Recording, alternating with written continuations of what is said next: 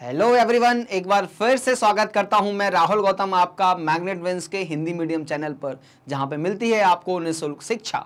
इसी कड़ी में आज मैं आपको लेके आया हूँ जो हम चैप्टर नंबर वन पढ़ रहे हैं, परिचय इंट्रोडक्शन उसके अंतर आज हम पढ़ेंगे व्यष्टि अर्थशास्त्र के अंदर में हम पढ़ेंगे समष्टि अर्थशास्त्र। क्योंकि हमने अभी काफ़ी जान लिया है व्यष्टि अर्थशास्त्र के बारे में तो हमें समष्टि अर्थशास्त्र के बारे में भी जानना होगा।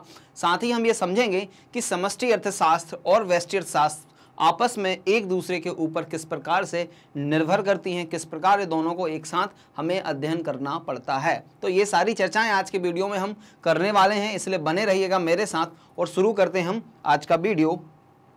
तो सबसे पहले हम जानेंगे समष्टि अर्थशास्त्र होता क्या है। जैसा कि हमने पढ़ा था, व्यष्टि अर्थशास्त्र जो है, वो व्यक्तिगत इकाइयों का अध्ययन करता है। वहीं पे समष्टि अर्थशास्त्र, जैसा कि ये इसका नाम हमें सुझाव देता है, समस्त, उसी से बनता है समष्टि। मतलब समस्त इकाइयों का अध्ययन जहाँ पे किया जाएगा, वह हमारी क्या होगी? समष्टि अर्थशास्त्र होगी। तो देखते हैं क्या लिखा हुआ है, समष्टि अर्थशास्त्र। इसका दूसरा नाम क्या है? व्यापक अर्थशास्त्र। समष्टि अर्थशास्त्र और इसका दूसरा नाम क्या है? व्यापक अर्थशास्त्र। इसमें अध्ययन किया जाता है, अर्थशास्त्र, वस्तुता अर्थशास्त्र की वह शाखा है जो किसी एक इकाई का नहीं, एक इकाई का नहीं, अपितु सभी इकाइयों या समृद्ध के आर्थिक व्यवहार का अध्ययन करती है। दूसरे शब्दों में, समष्टि अर्थशास्त्र में सामूहिक दशाओं का अध्ययन किया जाता है। इसे सामूहिक अर्थशास्त्र भी कहा जाता है। तो देखिए, यहाँ पे हमें ना तीन नाम मिल जाते हैं, समष्टि अर्थशास्त्र की। पहला तो हो गया समष्टि अर्थशास्त्र, दूसरा हो गया व्यापक अर्थशास्त्र। ये जो चीज़ें होती हैं, आपके एमसीक्यू क्वेश्चन के लिए इंपॉर्टेंट हो जाती हैं। और हमारे पास तीसरा नाम क्या हो गया? सामूहिक अर्थशास्त्र। ये तीन नाम हमें यहाँ से अर्थशास्त्र के मिल जाते हैं। भी कहा जाता है। इसमें अर्थव्यवस्था के कुल उत्पादन, कुल उपभोग और कुल बचत व कुल विनियोगों का अध्ययन किया जाता है। जैसे कि मैं इंडिविजुअल एग्रीगेट की बात कहाँ पे कर रहा था? वेस्ट अर्थशास्त्र में। और यहाँ पे मैं सामूहिक जो इकाइयाँ हैं मेरे पास, उनके बारे में बात करूँगा। उदाहरण के लिए हम इसको ऐसे समझ सकते हैं। यदि मैं किसी एक व्यक्ति की, एक उपभोक्ता की मांग को निकालना चाहता हूँ, एक उपभोक्ता की मांग के व्यवहार को समझना चाहता हूँ तो मेरे पास मान लेता हूँ मिस्टर एक्स हैं और मैं देखता हूँ कि मिस्टर एक्स का जो पैटर्न है खर्च करने का, कि जब किसी वस्तु की जो कीमत है, यहाँ पे हम प्राइस ले लेते हैं और यहाँ पे हम ले लेते हैं डिमांड यहाँ पे प्राइस ले लेते हैं और यहाँ पे डिमांड जब किसी वस्तु की कीमत जो है, वो एक रुपये होती है तो वो पाँच इकाइयाँ यहाँ पे वो मांग करते हैं।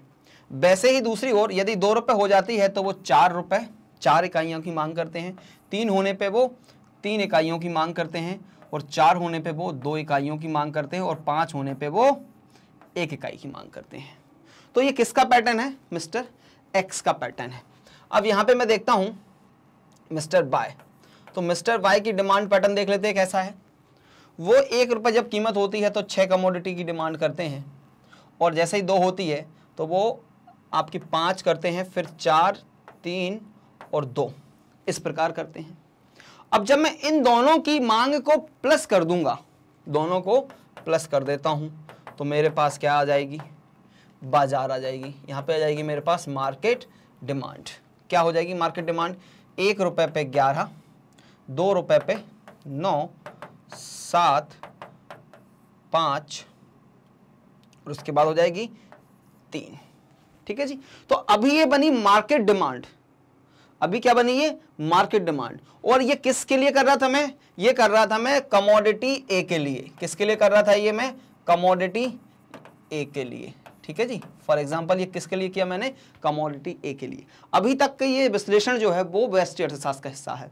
लेकिन जैसे ही मैं कमोडिटी बी का भी अध्ययन करूँगा इसी प्रकार. ठीक है? कमोडिटी बी का भी अध्ययन करूँगा. कमोडिटी सी का अध्ययन करूँगा. कमोडिटी डी इस प्रकार अर्थव्यवस्था में जितने प्रकार की वस्तुएँ एवं सेवाएँ हैं, उन सभी की मांग को प्लस कर दूँगा। और अर्थव्यवस्था में जितने भी कस्टमर हैं, उन सभी की मांग को प्लस कर दूँगा। तो मेरी बन जाती है एग्रीगेट डिमांड समृद्ध मांग बन जाती है। इस प्रकार के जो विषय होते हैं, वह हम समष्टि अर्थशास्त्र में अध्ययन करते हैं। बात ठीक है जी? समझ में आई? चलिए आगे बढ़ेंगे और देखेंगे कि क्या है हमारे पास। इस प्रकार समष्टि या वृद्ध अर्थशास्त्र का संबंध एक व्यक्ति से नहीं, अपितु व्यक्तियों के समूचे समूह से है। एक परिवार से नहीं, अपितु सभी परिवारों से है। एक फर्म से नहीं, अपितु सभी फर्म से है। उद्योगों से है। नहीं, अपितु अर्थव्यवस्था की समूची औद्योगिक संरचना से होता है। विभिन्न अर्थशास्त्रियों ने समष्टि अर्थशास्त्र को निम्न प्रकार परिभाषित किया है। तो देखते हैं, अर्थशास्त्री क्या बोलते हैं? प्रोफेसर बॉल्डिंग है यहाँ पे हमारे पास, और वो बोल रहे हैं, समष्टि अर्थशास्त्र में व्यक्तिगत मात्राओं का अध्ययन नहीं किया जाता, अपितु इन मात्राओं का योग का अध्ययन किया जाता है, इसका संबंध व्यक्तिगत आय से नहीं होता, अपितु राष्ट्रीय आय से होता है।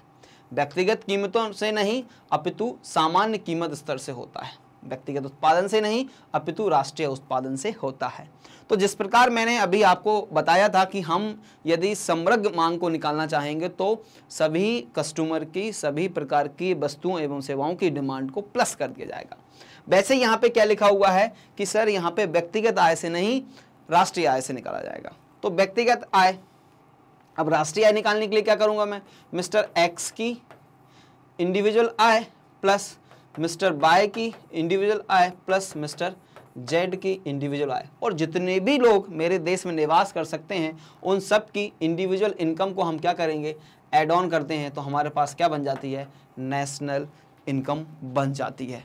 इस प्रकार के समृद्धों का विश्लेषण जो है, वो वेस्टी अर्थशास्त्र के अंतर्गत किया जाएगा। ठीक है जी? प्रोफेसर सुलझे समष्टि अर्थशास्त्र का मुख्य यंत्र राष्ट्रीय आय का विश्लेषण करता है। ठीक है? तो जब मैं आपको समष्टि अर्थशास्त्र पढ़ाऊँगा, उस समय आपको बताऊँगा कि कैसे समष्टि अर्थशास्त्र में राष्ट्रीय आय का, राष्ट्रीय आय की गणना की जाती है, क्योंकि ये उसका कंक्लूजन पॉइंट होता है। समष्टि अर्थशास्त्र पढ़ने का तात्पर्य यह है कि हमें आय को निर्धारित करना होता है। जिस प्रकार व्यष्टि अर्थशास्त्र को पढ़ने का कंक्लूजन या मतलब ये होता है कि हमें प्राइस को निर्धारित करना होगा प्राइस थ्योरी एंड चैप्टर में मैं आपको प्राइस थ्योरी पढ़ाऊँगा। ठीक है जी?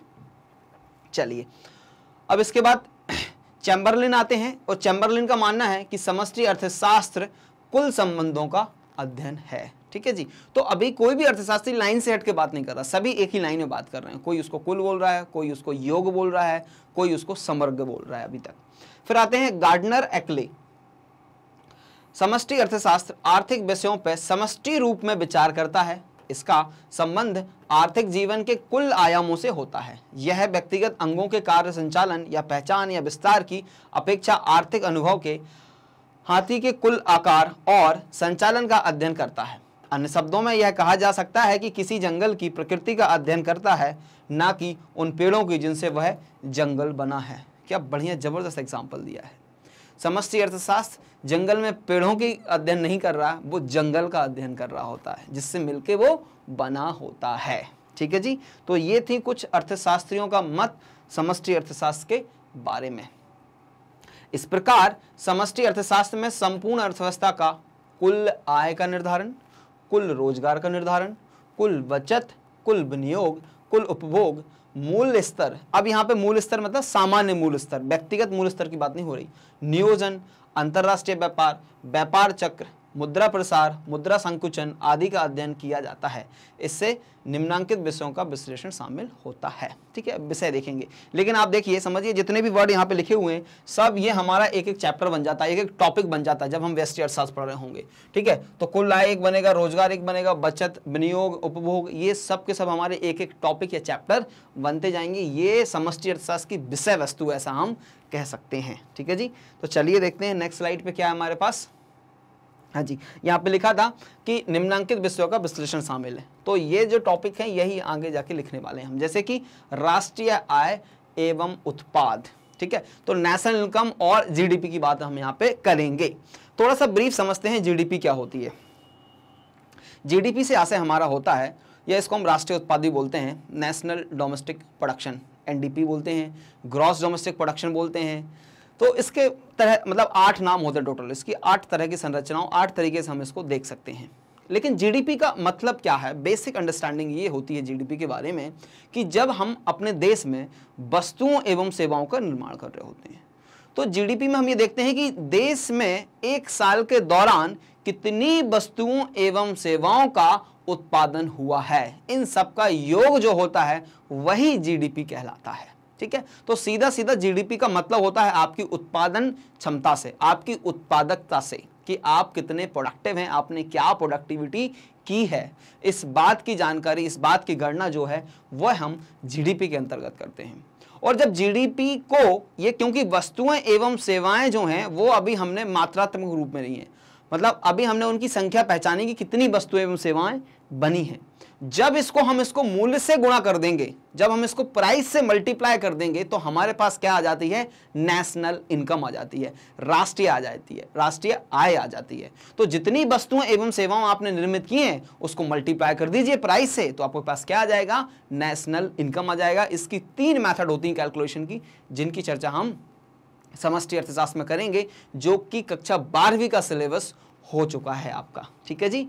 फिर है दूसरा, मुद्रा का बाह्य मूल। दूसरा क्या है? मुद्रा का बाह्य मूल। मुद्रा के बाह्य मूल से क्या संबंध है? कि सर, हम जो रुपए है उसकी वैल्यू इन टर्म्स ऑफ़ विदेशी मुद्रा की बात हम कर रहे हैं, वो कितना खरीद सकते हैं हम, है ना? जैसे कि अभी के लिए हम माने तो हमें एक डॉलर खरीदने के लिए, ठीक है जी? तकरीबन अस्सी रुपए जो है तकरीबन अस्सी रुपए जो है वो खर्च करने होते हैं, ठीक है? तो अब इसमें क्या होता है? उतार चढ़ाव भी हमें देखने को मिल सकते हैं। तो एक डॉलर हो सकता है कि हमें कभी 85 फाइव में भी मिल सके, और एक डॉलर हो सकता है हमें जो 75 फाइव में भी मिल सकता है। तो इसका वाह मूल्य का निर्धारण जो है, वो क्योंकि ये भी प्रोडक्टिविटी से लिंक करता है।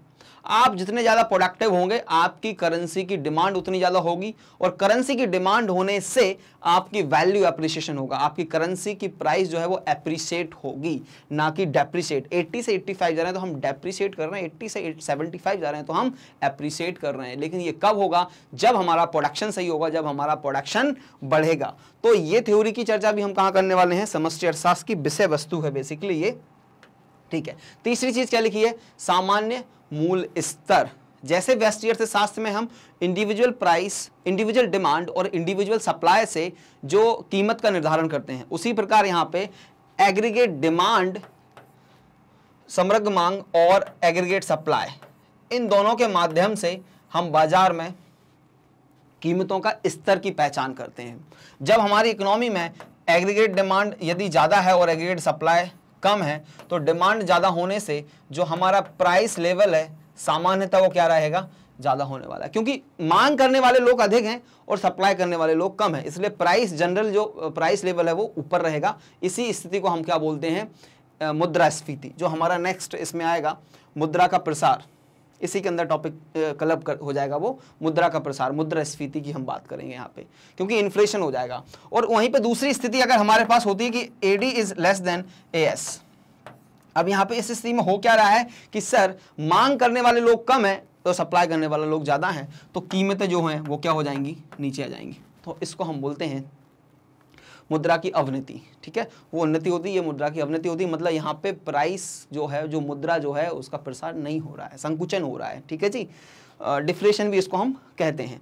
और तीसरी स्थिति होती है जो आदर्श स्थिति, संतुलन की बात करते हैं कि जितने लोग मांग कर रहे हैं, उतने ही लोग सप्लायर हमारे पास उपलब्ध हैं। तो ये स्थिति बहुत अच्छी स्थिति मानी जाती है और इसी को हम बोलते हैं संतुलन, है ना? तो अर्थव्यवस्था में संतुलन जो होता है, ये प्राप्त करना हमारा समष्टि अर्थशास्त्र में प्राप्त करना ही उद्देश्य होता है कि हमारी अर्थव्यवस्था, संतुलित अर्थव्यवस्था रहे, ना तो महँगाई रहे, ना ही डिप्रेशन जैसी स्थिति हमारे पास होनी चाहिए।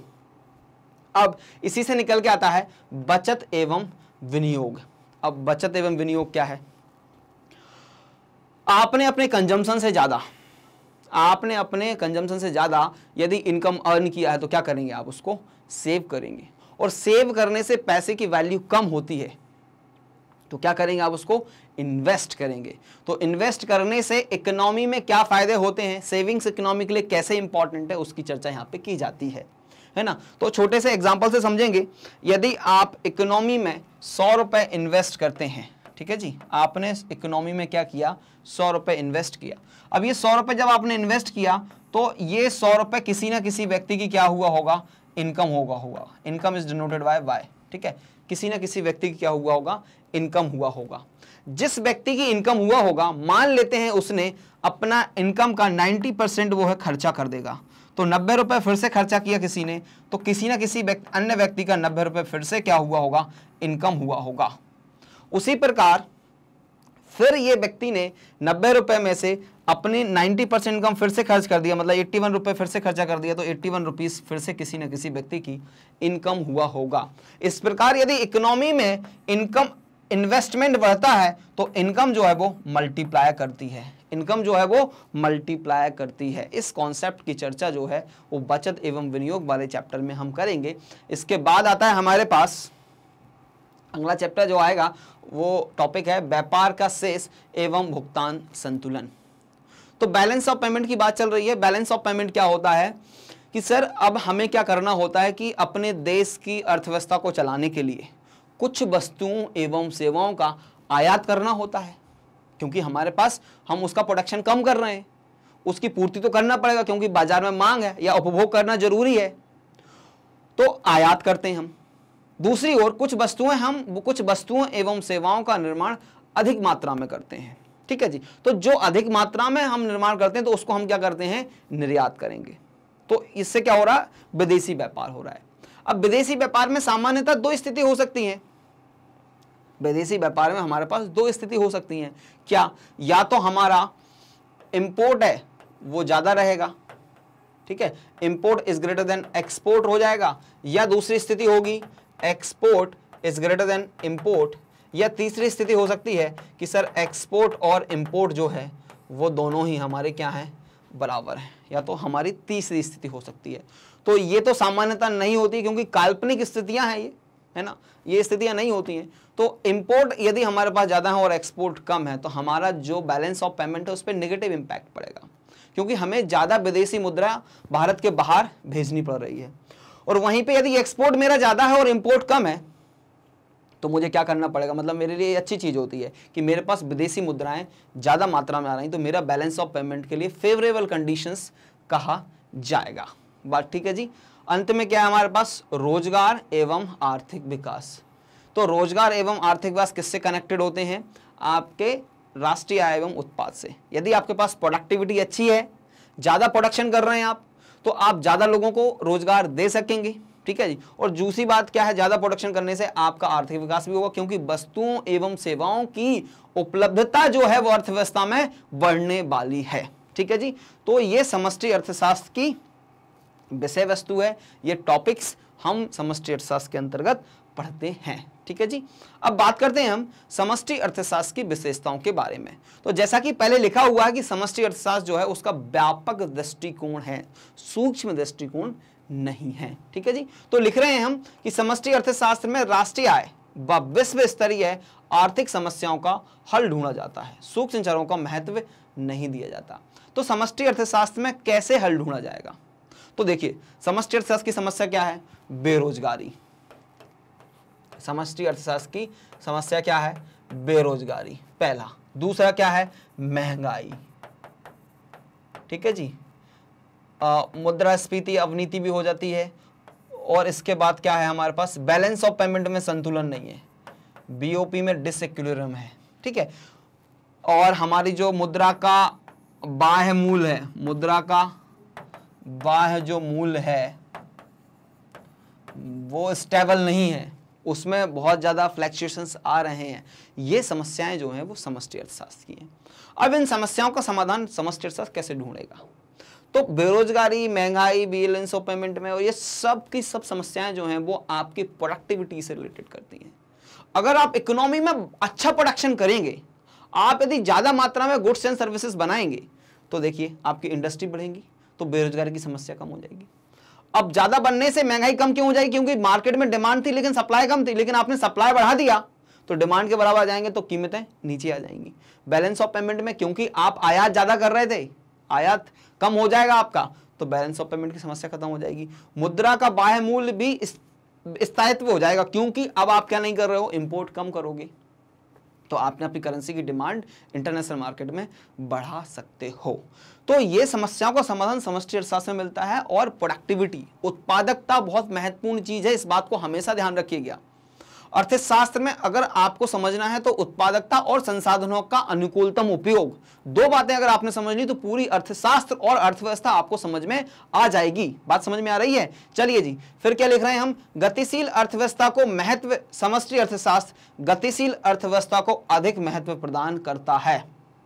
क्या बोल रहे हैं? गतिशील अर्थव्यवस्था को महत्व, समष्टि अर्थशास्त्र ज़्यादा उपलब्ध करता है, क्योंकि वहाँ पे प्रोडक्टिविटी को इन्हांस करने के लिए या इन समस्याओं से निपटने के लिए हमारे पास संसाधन या तरीके उपलब्ध होते हैं। ठीक है जी? चलिए, अब बढ़ेंगे अगले पॉइंट की तरफ़, जो हमसे बोल रहा है कि सर, व्यापक विश्लेषण। समष्टि अर्थशास्त्र में व्यापक विश्लेषण पर विशेष बल दिया जाता है। इसमें सरकार की मौद्रिक एवं राजकोषीय नीतियों के प्रभाव की विवेचना की जाती है। अब देखो, जो सरकार ना दो तरह से नीति लेके आती है। एक होती है राजकोषीय नीति और दूसरी होती है मौद्रिक नीति। ठीक है जी? तो सरकार जो है, वो अपनी अर्थव्यवस्था को नियंत्रित करने के लिए दो प्रकार से नीतियाँ बनाती है। एक होती है राजकोषीय नीति फ़िज़िकल पॉलिसीज़। राजकोषीय नीति जो होती हैं, वो हमारी सरकार के द्वारा बनाई जाती हैं और दूसरी होती हैं मौद्रिक नीति, मौद्रिक नीति जो है, वो हमारी सेंट्रल बैंक मतलब कि रिज़र्व बैंक ऑफ़ इंडिया भारतीय रिज़र्व बैंक के द्वारा बनाई जाती हैं। अब ये नीतियाँ तो बनाई जाती हैं, इन नीतियों का विश्लेषण जो होता है, वो कहाँ पे होगा? समष्टि अर्थशास्त्र के अंतर्गत होगा। ठीक है जी? चलिए, फिर क्या है?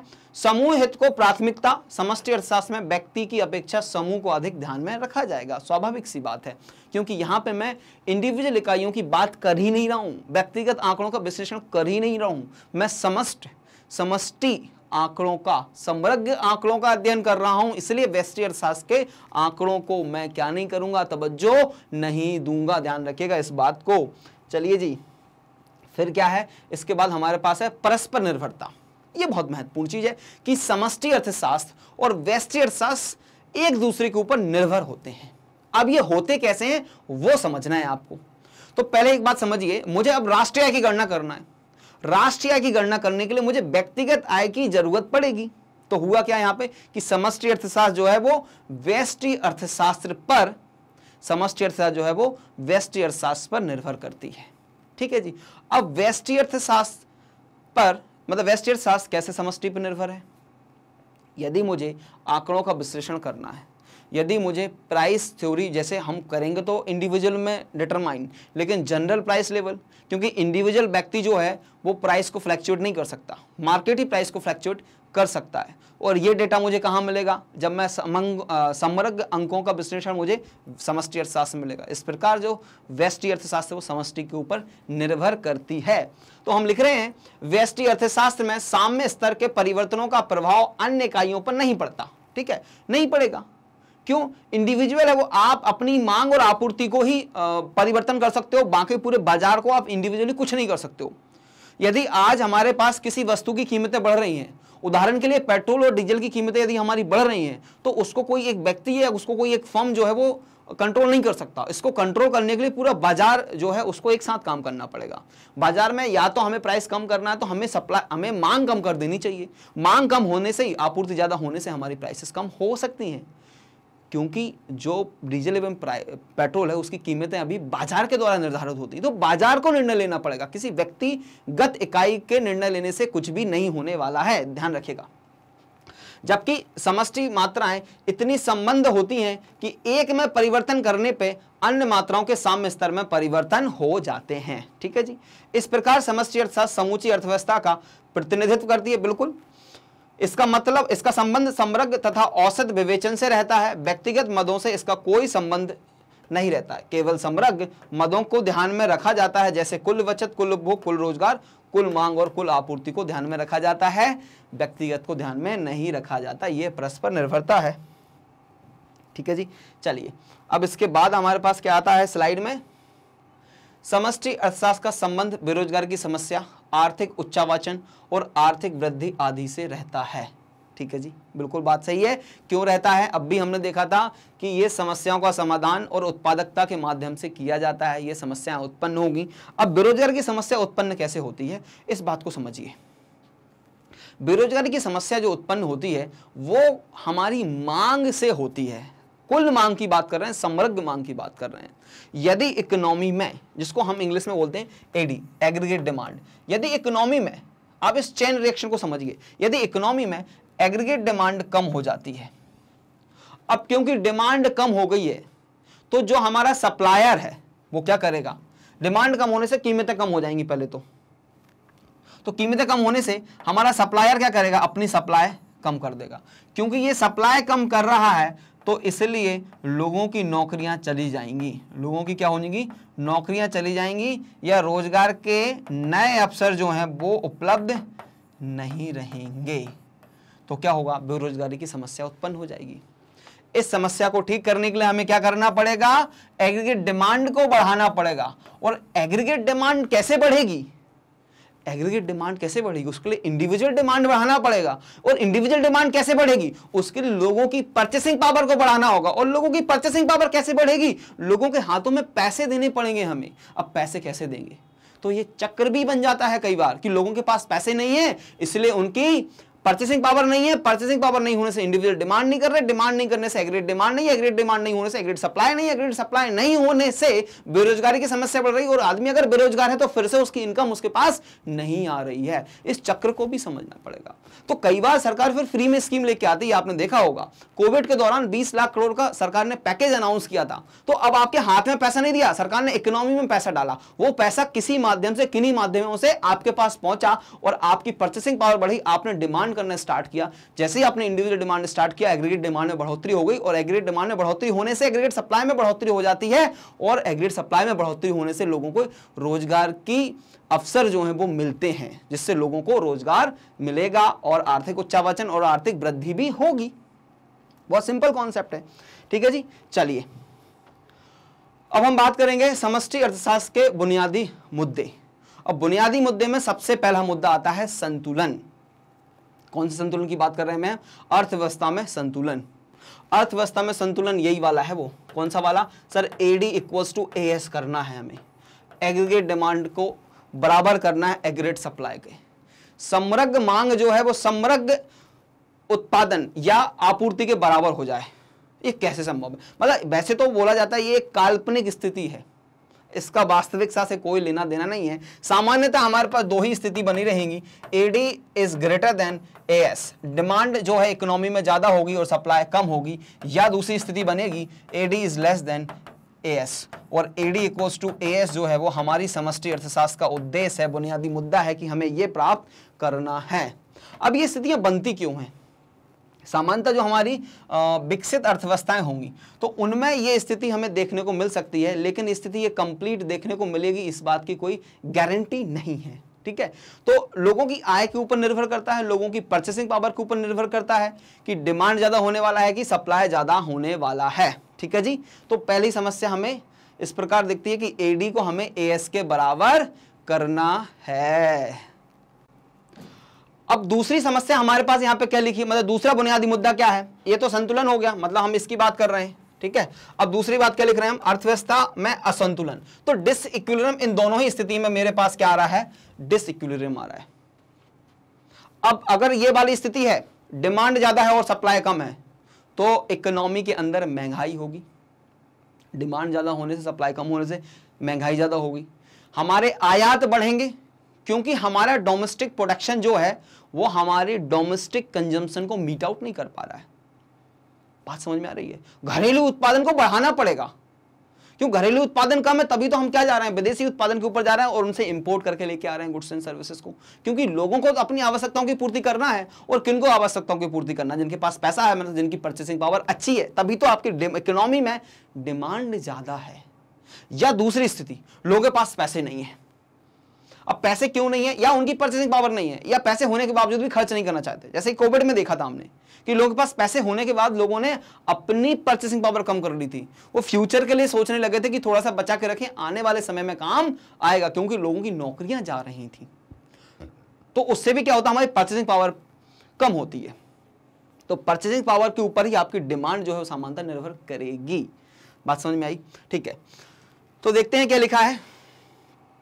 इसका आशय है अर्थव्यवस्था में समग्र मांग एवं समग्र आपूर्ति में असंतुलन है, तथा राष्ट्रीय संसाधनों का अपूर्ण उपयोग हो रहा है।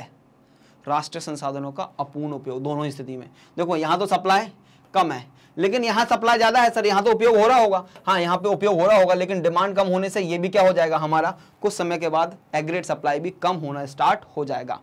तीसरा काम हमें करना क्या है? करेक्शन इन डिस अब देखो करेक्शन इन डिस कैसे करेंगे हम? इसको समझेंगे। तो डिस तो दोनों ही स्थिति है। ये भी हमारा डिस की स्थिति है AD is greater than S और दूसरी स्थिति क्या है? AD is less than S ये भी क्या है मेरी? डिस की स्थिति है, दोनों ही स्थितियाँ। तो पहले मैं पहली स्थिति के बारे में बात कर रहा हूँ। अब मेरी डिमांड क्या है? ज़्यादा है। एग्री डिमांड मेरी ज़्यादा है। तो डिमांड को कम करने के लिए क्या करना है मुझे? लोगों की परचेसिंग पावर कम करना है। अब परचेसिंग पावर कम करने के मेरे पास ना दो तरीके हो सकते हैं। अच्छा बच्चों के दिमाग में, कुछ लोगों के दिमाग में ये आ रहा होगा कि सर सप्लाई को क्यों नहीं बढ़ा रहे हो आप? हमेशा डिमांड के साथ क्यों छेड़छाड़ कर रहे हो?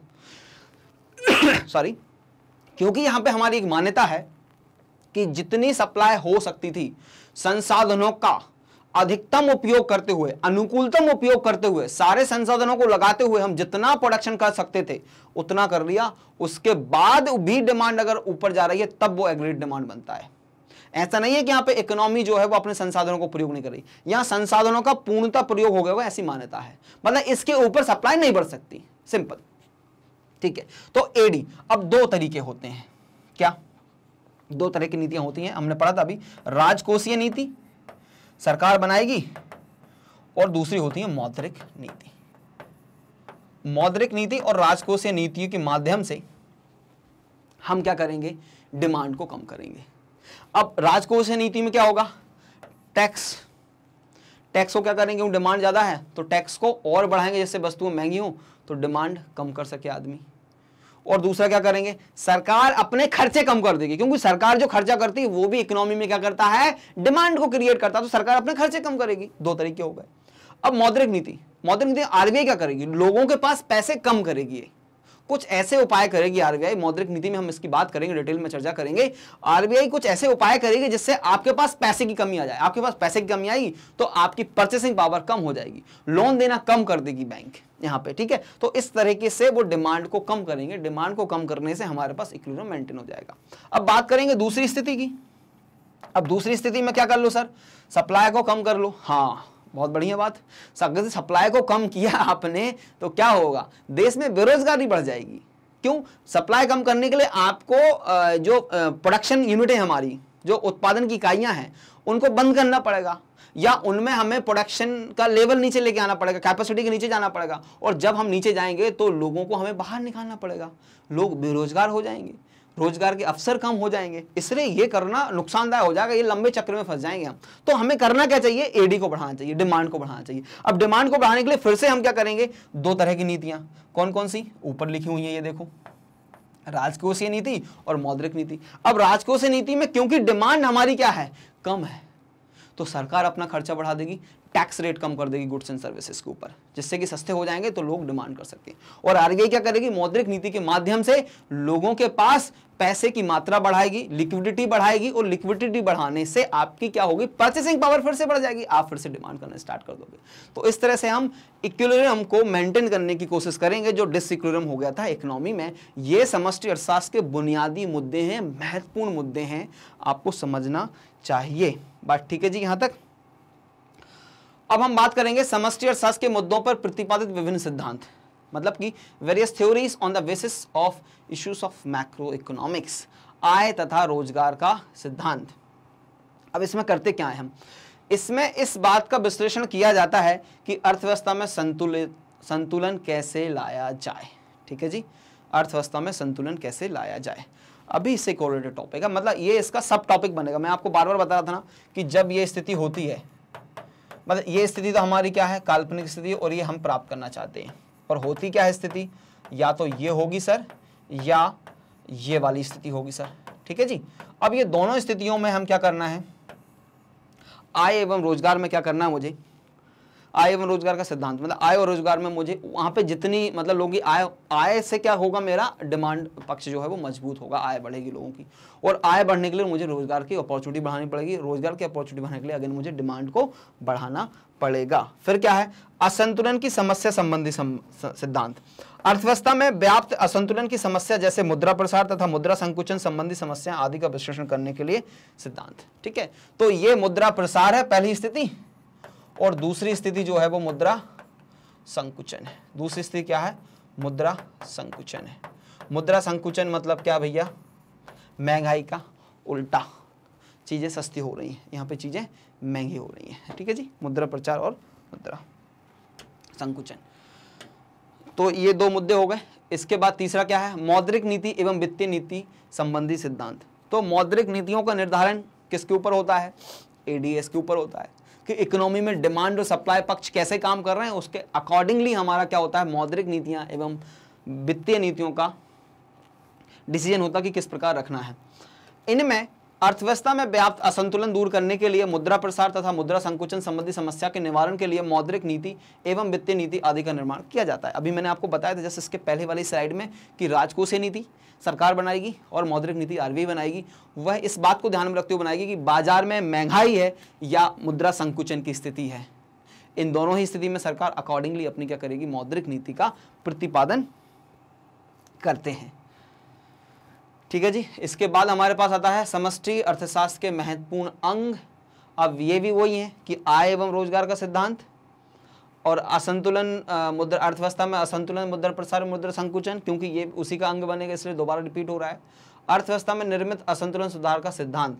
तो असंतुलन का सिद्धांत तीन प्रकार की नीतियाँ। पहली, मौद्रिक नीति। वी हैव डिस्कस ऑलरेडी इसमें मुद्रा की पूर्ति व साख व्यापारिक बैंकों द्वारा साख निर्माण पर बल दिया जाएगा। मतलब कि मुद्रा को हमें क्या करना है? लिक्विडिटी जो है, तरलता जिसको हम बोलते हैं। अच्छा लिक्विडिटी समझ लीजिए एक बार। लिक्विडिटी का मतलब होता है कि लोगों के पास कैश की उपलब्धता, नगदी की उपलब्धता कितनी है?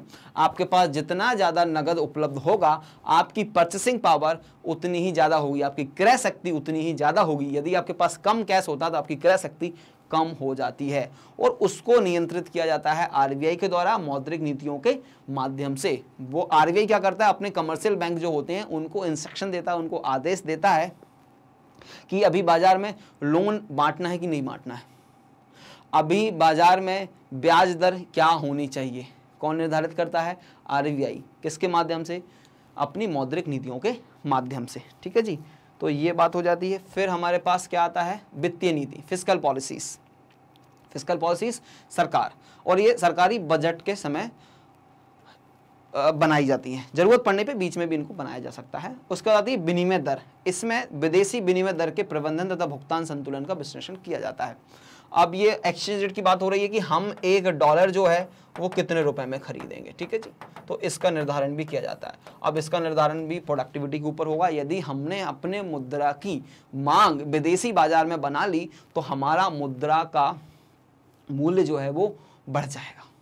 और यदि हमारी मांग नहीं है तो मुद्रा का मूल्य जो है, वो कम हो जाएगा, जैसा कि आज के समय में हमें होते हुए दिख रहा है, ठीक है? अब आता है कि वेस्टी अर्थशास्त्र समष्टि अर्थ की आपस, पारस्परिक निर्भरता। दोनों शाखाएँ अलग अलग हैं, लेकिन निर्भर होती हैं एक दूसरे के ऊपर। इंटरडिपेंडेंट कहा जाता है इनको। किस प्रकार इंटरडिपेंडेंट है, एक बार देखते हैं। वेस्टी अर्थशास्त्र व समष्टि अर्थशास्त्र आर्थिक विश्लेषण की अलग अलग शाखाएँ हैं। इनका क्षेत्र भी भिन्न भिन्न होता है, किंतु वास्तव में आर्थिक विश्लेषण की ये दोनों शाखाएँ एक दूसरे की विरोधी नहीं होती हैं वरन पूरक होती हैं।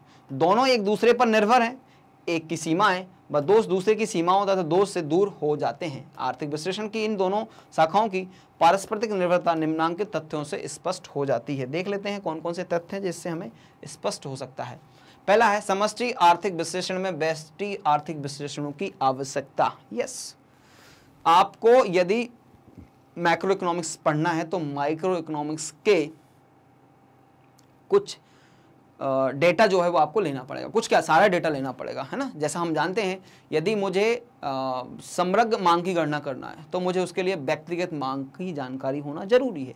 यदि मुझे राष्ट्रीय आय को जानना है तो मुझे व्यक्तिगत आय की जानकारी होना बहुत ज़रूरी है, तभी मैं कर सकता हूँ। इसलिए क्या लिखा है? समष्टि अर्थशास्त्र का व्यष्टि अर्थशास्त्र से घनिष्ठ संबंध है। अर्थात, समष्टि अर्थशास्त्र के लिए व्यष्टि अर्थशास्त्र की आवश्यकता निम्न कारणों से होती है। तो पहला कारण हमारे पास क्या है? संपूर्ण अर्थव्यवस्था को समझने तथा उसके संबंध में नीतियों का निर्धारण करने के लिए व्यक्तिगत इकाइयों के संयोगों की अध्ययन की ज़रूरी है। अब तक हमने व्यक्तिगत इकाइयों को सही जानकारी प्राप्त नहीं कर लेते, तब तक समष्टि आर्थिक निष्कर्ष सही नहीं होंगे। इसलिए कहा जाता है कि व्यष्टि अर्थशास्त्र समष्टि अर्थशास्त्र की आधारशिला है। डेटा आपको कहाँ से मिल रहा है? व्यष्टि से मिल रहा है। उदाहरण के लिए, जिस प्रकार व्यक्तियों के मेल से समाज बनता है, उसी प्रकार फर्मों के मेल से उद्योग बनता है और उद्योगों के मेल से अर्थव्यवस्था का निर्माण होता है। अतएव संपूर्ण अर्थव्यवस्था को समझने के लिए सभी व्यक्तिगत इकाइयों की जानकारी होना ज़रूरी है। इसीलिए हम क्या बोल रहे हैं, जो समष्टि अर्थशास्त्र है, वो व्यष्टि अर्थशास्त्र के ऊपर निर्भर है। ठीक है जी? ये पहला कारण था। इसके बाद दूसरा कारण है, अर्थव्यवस्था की सही जानकारी के लिए उन सिद्धांतों का ज्ञान आवश्यक है, जो व्यक्तियों, परिवारों फर्मों के व्यवहार पर प्रभाव डालते हैं। जब तक हम उन सिद्धांतों का ज्ञान नहीं हो जो व्यक्तियों, परिवारों को फर्मों के व्यवहार पर प्रभाव डालते हैं, तब तक हम अर्थव्यवस्था की सही सही जानकारी प्राप्त नहीं कर सकते। मुझे जब व्यक्ति के व्यवहार के बारे में नहीं पता तो व्यक्तियों के व्यवहार के बारे में कैसे पता चल सकता है? एक परिवार के बारे में नहीं मालूम तो परिवारों के व्यवहार पैटर्न के बारे में कैसे जानकारी हो सकती एक फर्म के उद्योग के बारे, फर्म के व्यवहार के बारे में नहीं जानता तो मैं उद्योगों का व्यवहार कैसे समझ सकता हूँ? इसलिए क्या बोल रहे हैं? व्यक्तिगत समंकों की जानकारी होना आपके लिए महत्वपूर्ण है। और ये चीज़ मैं आपको भी स्पष्ट कर देता हूँ कि आपको समष्टि अर्थशास्त्र अच्छे से पढ़ना है ना तो व्यष्टि अर्थशास्त्र अच्छे से आना चाहिए आपको। यदि आपको व्यष्टि अर्थशास्त्र में कहीं कंफ्यूजन रह जाता है तो वो समष्टि अर्थशास्त्र में आपको दिक्कत दे सकता है। व्यष्टि अर्थशास्त्र जो है, वो वाकई में आधारशिला है, हमें समझने के लिए भी। इसलिए तो हम पहले व्यष्टि अर्थशास्त्र पढ़ते हैं, उसके बाद समष्टि अर्थशास्त्र पे आते हैं। ठीक है जी? अब तीसरा कारण। तीसरा कारण क्या है? मांग तथा उत्पादन के सही विश्लेषण की आवश्यकता। यदि समाज द्वारा वस्तुओं की मांग बढ़ाई जा रही है तो सामान्यतः यह कहा जाएगा कि फर्में उत्पादन बढ़ाएँगी।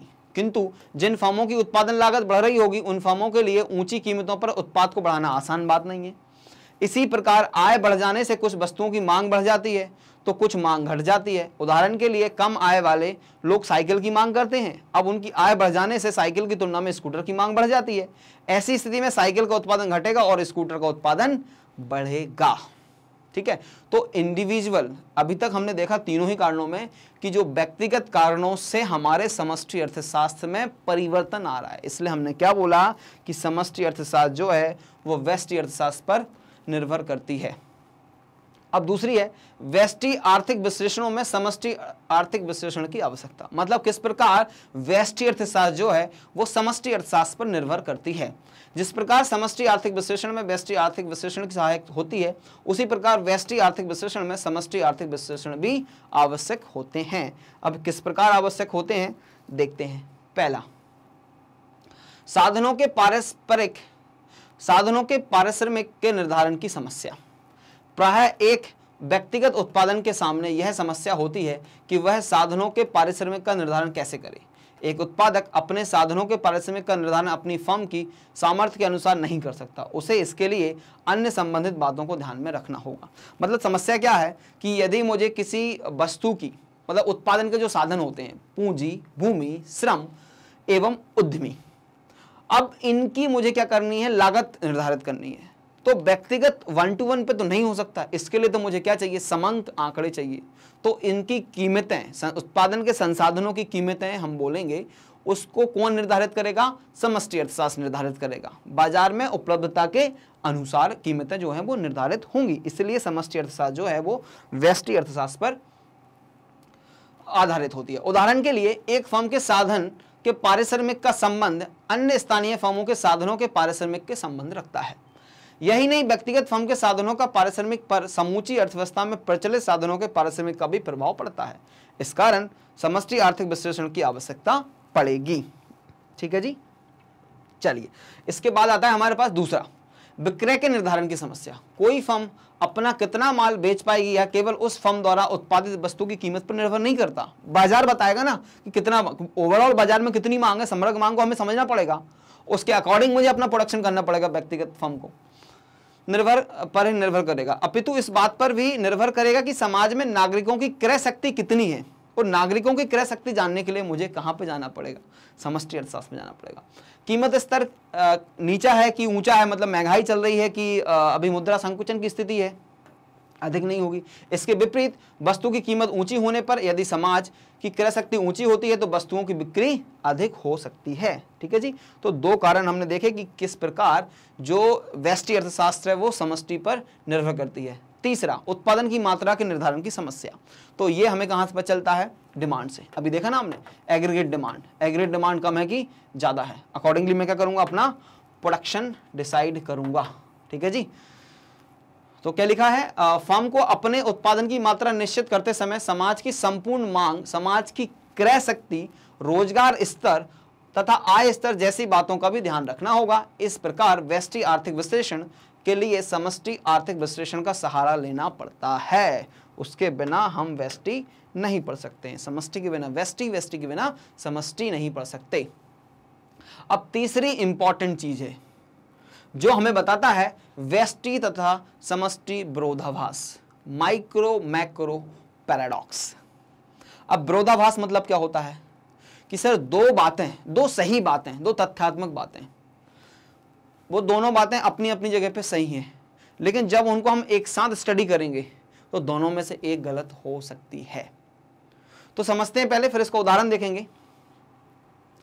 इसका आशय यह है कि एक कार्य जो एक व्यक्ति के लिए लाभदायक है, वह समूची अर्थव्यवस्था के लिए हानिकारक भी हो सकता है और समूची अर्थव्यवस्था के लिए जो लाभदायक है, वो एक व्यक्ति के लिए हानिकारक भी हो सकता है है ना? अपोजिट भी हो सकता है। तो इसको समझिए, जैसे कि मान लेते हैं, आपके पास ना बहुत सारा ब्लैक मनी है, काला धन है, आपने पैसे कमा लिए, पैसे कमा लिए लेकिन टैक्स नहीं दिया। तो व्यक्तिगत तौर पे आपके लिए बहुत अच्छी बात है कि आपके पास बहुत सारा पैसा है, लेकिन यह बात समूची अर्थव्यवस्था के लिए, समाज के लिए अच्छी बात नहीं है, क्योंकि वो पैसा सर्कुलेशन के बाहर चला गया है। उस पैसे का अर्थव्यवस्था में सर्कुलेशन होना बहुत ज़रूरी है। तो वो बात ठीक नहीं है। तो अब ये बात वेस्टी के लिए ठीक रही, लेकिन समष्टि के लिए ठीक नहीं रही। इसको हम बोलते हैं माइक्रो मैक्रो पैराडॉक्स यहाँ पे उदाहरण क्या लिया मैंने? उदाहरण के लिए यदि कोई व्यक्ति बचत करता है तो वह उसके परिवार के लिए लाभदायक होता है। ठीक है जी? किंतु यदि सारा अर्थतंत्र बचत करने लग जाएगा तो इसका परिणाम मांग में कमी है, उत्पादन में कमी, रोज़गार में कमी तथा राष्ट्रीय आय में कमी होगी। फलस्वरूप समूची अर्थव्यवस्था को नुकसान होगा। देखो, बचत करना अच्छी बात है, लेकिन हम बचत को क्या बोलते हैं? निवेश कीजिए। इसलिए आपको बार बार आपके पास अगर सेविंग्स है तो आप उसको इन्वेस्ट कीजिए। यदि इन्वेस्ट नहीं कर रहे तो अर्थव्यवस्था से बाहर पैसा चल जाता है। आपके अलमारी में रखा हुआ पैसा ना तो वो बढ़ रहा है और ना ही आपकी अर्थव्यवस्था के लिए उपयोगी है। क्योंकि सब लोग बचाने लग जाएँगे तो मांग जो है ऑटोमेटिक स्वाभाविक रूप से मांग कम हो जाएगी। और समृद्ध मांग कम होने से अभी हमने देखा है क्या होता है? धीरे धीरे सप्लाई कम होती है सप्लाई कम होने से रोज़गार कम होता है रोज़गार कम होने से फिर से इनकम कम होती है, जो अर्थव्यवस्था के लिए ठीक बात बिल्कुल भी नहीं है। इसको हम बोलते हैं माइक्रो मैक्रो पैराडॉक्स निष्कर्ष। व्यष्टि अर्थशास्त्र तथा समष्टि अर्थशास्त्र दोनों एक दूसरे के पूरक हैं, ठीक है जी? परस्पर पूरक हैं। विरोधी नहीं है। समष्टि अर्थशास्त्र का कार्य व्यष्टि अर्थशास्त्र के बिना और व्यष्टि अर्थशास्त्र का कार्य समष्टि अर्थशास्त्र के बिना पूरा नहीं हो सकता है। प्रोफेसर सैमुअलसन ने ठीक ही लिखा है। वास्तव में व्यष्टि व समष्टि अर्थशास्त्र में परस्पर कोई विरोध नहीं है। ये दोनों अत्यंत आवश्यक हैं। यदि आप एक को समझते हैं और दूसरे से अनविज्ञ हैं तो आप अर्ध शिक्षित ही रहेंगे। इसलिए आपको व्यष्टि अर्थशास्त्र की सीरीज़ पूरी करेंगे पहले हम, फिर हम समष्टि अर्थशास्त्र की सीरीज़ पूरी करेंगे। ठीक है जी? ध्यान रखना है इस बात का। हम व्यष्टि अर्थशास्त्र के बाद समष्टि अर्थशास्त्र पढ़ेंगे। ठीक है। अब गार्डनर भी कुछ बोल रहे हैं, उनका भी सुन लेते हैं। गार्डनर का यह कथन महत्वपूर्ण है कि समष्टि तथा वेष्टि अर्थशास्त्र के बीच विभाजन की कोई सुनिश्चित सीमा रेखा नहीं खींची जा सकती है। अर्थशास्त्र के विषय क्षेत्र के अंतर्गत दोनों का ही समान स्थान है। सुविधा की दृष्टि से सही परिणामों पर पहुँचने के लिए समष्टि अर्थशास्त्र की समस्याओं का समाधान, समष्टि अर्थशास्त्र के उपकरणों से एवं वेष्टि अर्थशास्त्र की समस्याओं का समाधान, वेष्टि अर्थशास्त्रों के उपकरण से किया जाना चाहिए। समझने के लिए ठीक है, एक दूसरे का उपयोग कर रहे हैं, लेकिन समस्या का समाधान तो आपकी ही शाखा में आपको मिलेगा, व्यष्टि का, व्यष्टि में और समष्टि का समष्टि में। उम्मीद करता हूँ और आशा है मुझे कि आपको ये वीडियो समझ में आया होगा। इसके अलावा अत्यंत महत्वपूर्ण जानकारी आपके लिए यह है, और आप जानते भी हैं कि मैग्नेट ब्रेन्स जो आपको निशुल्क शिक्षा के लिए सभी विषय के विषयवार वीडियो पूरा पाठ्यक्रम निशुल्क में उपलब्ध करवाता है। हमारे वीडियो लेक्चर्स यूट्यूब पर उपलब्ध होते हैं। ठीक है? ये हमारे टॉप कोर्सेज की जानकारी यहाँ पे है। हम C B S English medium Hindi medium में आपको सारे सब्जेक्ट्स के लिए विषयवार वीडियो उपलब्ध करवाते हैं। Spoken English U T N T A C के लिए भी उपलब्ध होते हैं आपके आ, हमारे वीडियो आपके लिए। फिर इसके अलावा हम सेंट्रल बोर्ड और स्टेट बोर्ड को भी कवर कर रहे हैं। तो वीडियो को देखने के लिए आपका बहुत बहुत धन्यवाद।